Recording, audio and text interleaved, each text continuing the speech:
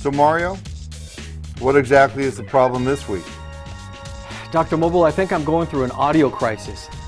I bought a brand new car, premium sound, turn up the volume, the sound starts cracking up.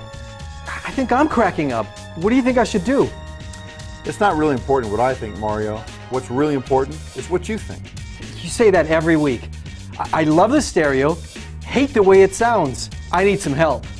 All right, Mario. I think we have something that can help you. Mario, you're not alone.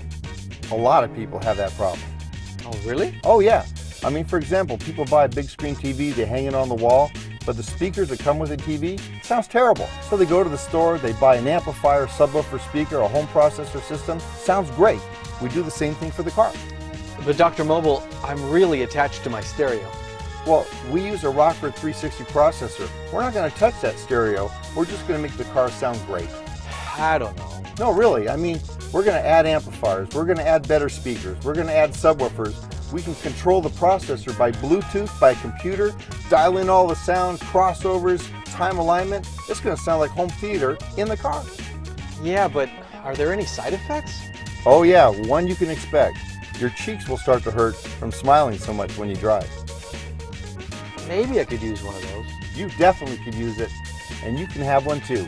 Go to whipnotic.com and click on I Want That. We're giving one away this week.